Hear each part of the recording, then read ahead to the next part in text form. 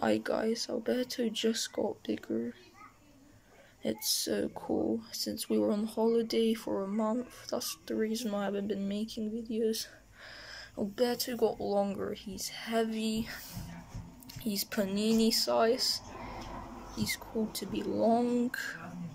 I can't really hold him. He's kind of heavy, but I recommend it. So, thanks for watching. Alberto just got big.